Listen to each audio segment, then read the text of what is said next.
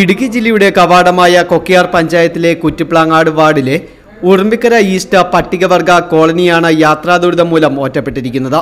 കഴിഞ്ഞ ഒരാഴ്ചയായി കനത്ത മഴ പെയ്തതോടെ തോടുകളെല്ലാം കരകവിഞ്ഞ പുറംലോകവുമായി ബന്ധമില്ലാതെ ജനം വലയുകയാണ്.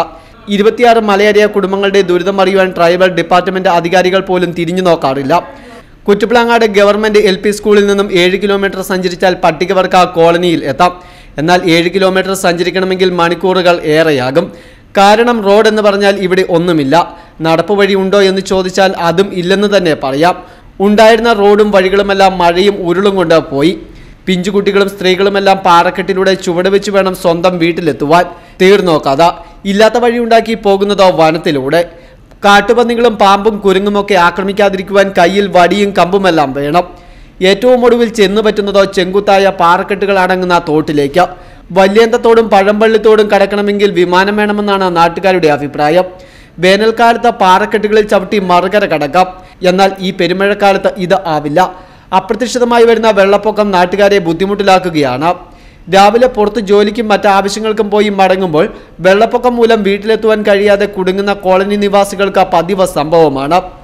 കുറ്റിപ്പിളങ്ങാട് സ്കൂളിൽ പഠിക്കുവാൻ പോയി തിരികെ എത്തുവാൻ കഴിയാതെ പോകുന്ന പിഞ്ചുമക്കളുടെ കാര്യം പറയുമ്പോൾ അമ്മമാരുടെ കണ്ണ് നനിയും രണ്ടായിരത്തി പതിനെട്ടിലും രണ്ടായിരത്തി ഇരുപത്തി ഒന്നിലുമെല്ലാം ഉണ്ടായ പ്രളയത്തിൽ കോളനി തകർത്ത് എറിഞ്ഞു. പുറംലോകവുമായി ഉണ്ടായിരുന്ന എല്ലാ ബന്ധങ്ങളും ഇല്ലാതാക്കിയ പ്രളയത്തിൽ നിന്നും രക്ഷ നൽകുവാൻ അധികാരികൾ മനസ്സ് കാണിച്ചില്ല. ആകെ ഉണ്ടായിരുന്ന ഒരു ചപ്പാത്ത രണ്ടായിരത്തി പതിനെട്ടിലെ ഉരുൾപൊട്ടലിൽ ഒലിച്ചുപോയി.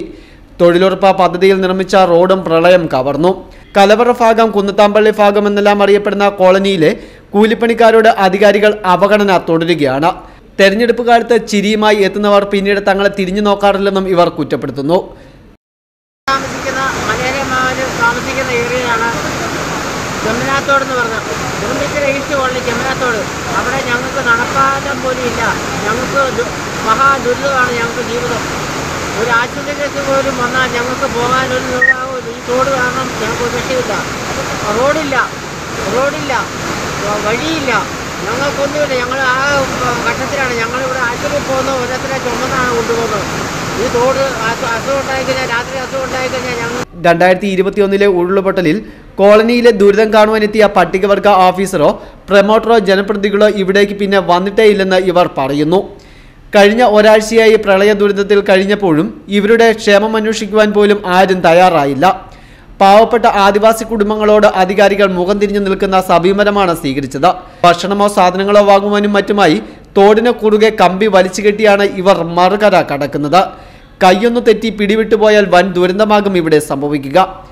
നൂറ്റാണ്ടുകളായി ഇവരുടെ പൂർവികർ കൈവശം വെച്ച് പോന്നിരുന്ന പൊന്നു വിളയിച്ചു വന്ന ഭൂമിയിൽ നിന്ന് ഒരു മരക്കൊമ്പ് പോലും എടുക്കുവാൻ കഴിയില്ല. അപ്പോൾ നിരോധന ഉത്തരവുമായി ഉദ്യോഗസ്ഥർ എത്തും. വഞ്ചിപ്പുഴ രാജകുടുംബത്തിൽ നിന്നും തങ്ങളുടെ പൂർവികർ പണം കൊടുത്തു വാങ്ങിയ ഭൂമിയിൽ പട്ടയവും രേഖകളും എല്ലാം ഉണ്ടെങ്കിലും ഇതുവരെയായി പിൻഗാമികളിലേക്ക് രേഖ കൈമാറുവാൻ നിയമതടസ്സമാണ് അധികാരികൾ നിരത്തുന്നത്. ഈ ആദിവാസി കുടുംബങ്ങളോട് കാണിക്കുന്ന അവഗണന അവസാനിപ്പിക്കണമെന്നാണ് ഇവിടുത്തുകാരുടെ ആവശ്യം. News bureau Mundakayam.